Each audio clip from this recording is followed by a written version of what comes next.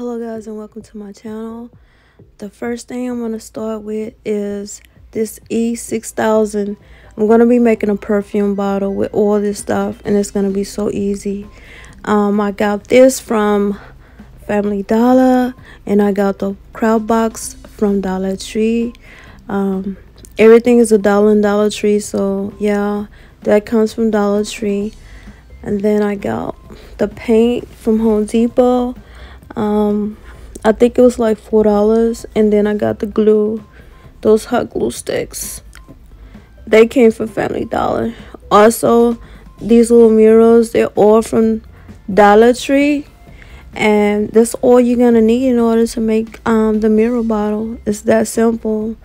Oh one more thing. Um the little box back here um it's just a cutout of an old box that I had a melon box or you can use like a cardboard or whatever you have around the house that's hard. You can even use like a board or just make sure your measurements are right. I use boards because I can cut them to whatever size I want but it's all up to you whether what you want to use for your background.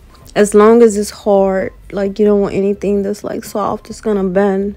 So this is all I use. So let's get started okay guys the next thing I'm gonna do is take the little thingies off the back. Like those have to be off because if you don't take them off, they're not gonna stick.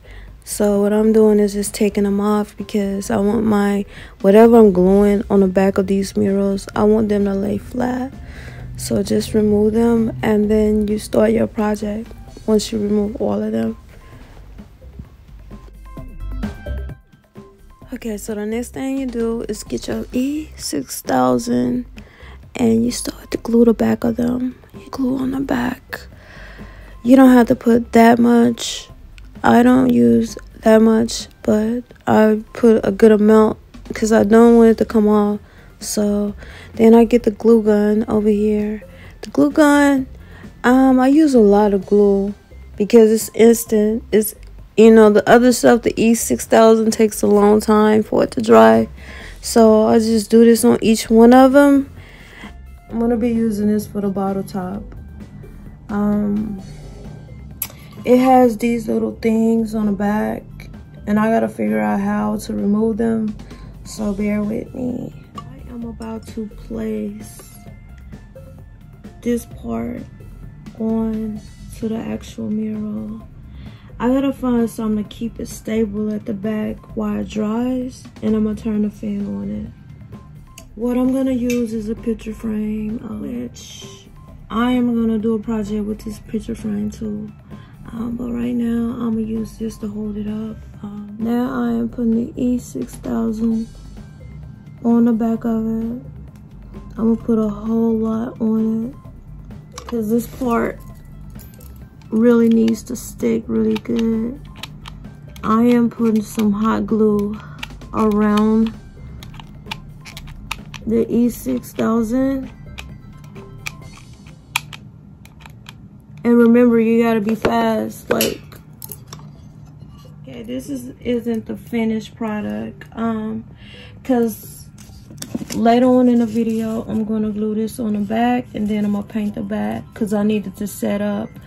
I was gonna hang it. You can hang it as a mural, but I want mine to set up, so I'm gonna glue this on the back of it So guys, after you let it dry for a whole day, um, remember these little phone boxes? I cut them in half because I'm, I'm, making actually two. So I so I'm not gonna put um, the E600 on this. I'm gonna put the hot glue on this. And all this is is for all I'm using this for is to make it stand up once I set it up.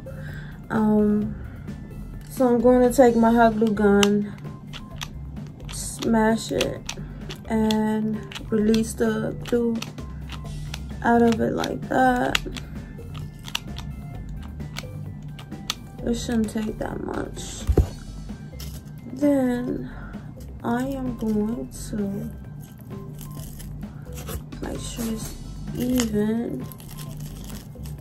Put it right there in the box hold it down for a few minutes. Don't have to be perfect.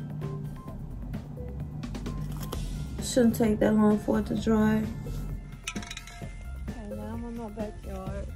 Go ahead and start spraying this.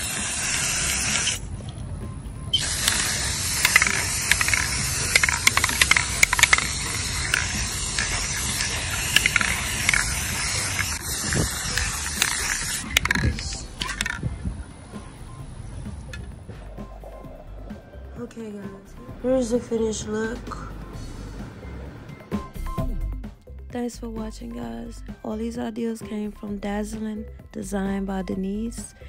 I love her channel and I hope you guys enjoy mine.